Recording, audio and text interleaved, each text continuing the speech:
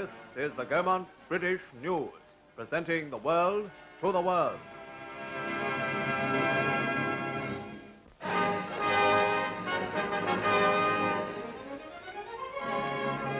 Parliament Hill in Ottawa becomes the background to yet another piece of Canadian history, as with impressive ceremony, a new province is added to the territories of the Dominion. Guards of honor saluted the arrival of the Governor General, Lord Alexander, and Prime Minister Saint Laurent. Mr. Mackenzie King was also present to welcome Newfoundland's representative, Mr. Gordon Bradley, as Secretary of State for the province. The Prime Minister himself began the carving of Newfoundland's arms at the famous Peace Tower. The vast addition of Newfoundland and its dependency Labrador brings 325,000 new citizens under the Canadian flag. In the island capital itself, Newfoundland's first Lieutenant Governor, Sir Albert J. Walsh, takes the oath.